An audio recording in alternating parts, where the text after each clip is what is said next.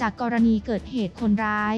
ลอบวางระเบิดแสวงเครื่องที่ติดตั้งในรถยนต์นำมาจอดไว้บริเวณที่เกิดเหตุ บริเวณริมถนนสายชนะบทบ้านนิคม หมู่ที่ 3 ต่อ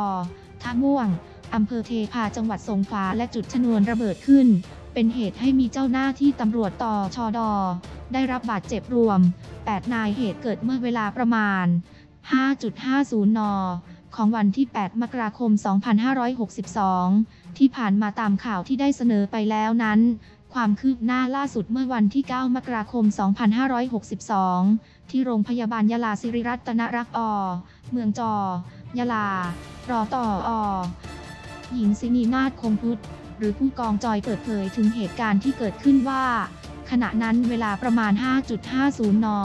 ทุกคนยังคงนอนหลับอยู่ในอาคารนอกดาของตนเอง ซึ่งเป็นห้องพักเตรียมที่จะตื่นขึ้นมาทำกิจกรรมทำความสะอาดในช่วงเช้าร่วมกัน ในเวลานั้นเกิดเสียงดังขึ้นตนเองก็รู้สึกเจ็บที่หน้าอก และใช้มือกดก็พบว่ามีเลือดออก แต่ในขณะนั้นยังรู้สึกงงว่าเกิดอะไรขึ้น ภาพที่เห็นคืออาคารนอกดาพังยุบลงมาเห็นไฟลุกไม่ขึ้นจึงเชื่อว่าน่าจะเป็นระเบิดตนเองจึงใช้วิธีคลานหนีออกจากอาคารนอกดา ตามยุทธวิธีก็สามารถออกมาได้ และออกมาอยู่ด้านหลัง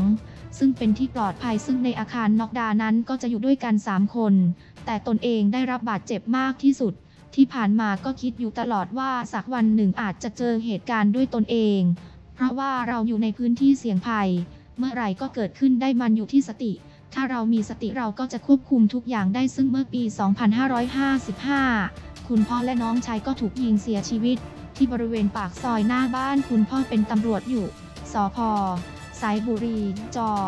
ปัตตานีตนเองก็ใช้อาชีพของตนซึ่งเป็นพยาบาล คุณพ่อซึ่งเป็นตำรวจได้ทำหน้าที่สองหน้าที่คือหน้าที่ที่เรารัก และหน้าที่ที่พ่อรักตนเองก็คิดมาตลอดว่า จะทำให้ดีที่สุดก็โชคดีที่ได้มาเป็นพยาบาลตำรวจ ได้ดูแลประชาชนในพื้นที่เป็นพยาบาลสนาม ซึ่งจะแตกต่างจากพยาบาลตามโรงพยาบาลทั่วไป มีหน้าที่ลงพื้นที่ห่างไกลเพื่อให้ประชาชนได้ใช้บริการทางการแพทย์โดยตนยังยืนยันว่าจะทำงานในพื้นที่ต่อหลังจากที่หายดีแล้ว รอต่ออหญิงซินีนาฏกล่าว ผู้กองจอยยังกล่าวอีกว่า ต้องขอขอบคุณกับกระแสในโลกโซเชียลที่ให้กำลังใจทำให้รู้สึกเข้มแข็งขึ้นมาจากเรื่องที่เจอมาตั้งแต่สมัยเรื่องคุณพ่อ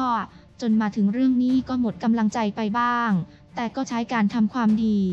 เพื่อที่จะให้กุศลที่ได้ไปถึงคุณพ่อ แต่ในวันนี้ทุกคนทั้งที่รู้จักและไม่รู้จักเข้ามาให้กำลังใจ มาให้ความรักโดยไม่ต้องร้องขอ ต้องขอขอบคุณมากและขอขอบคุณแทนพี่พี่อีกเจ็ดท่านด้วยที่ทุกท่านให้ความเป็นห่วงและมอบกำลังใจให้กัน และจะสู้ต่อไปทำงานในพื้นที่ให้ดีที่สุด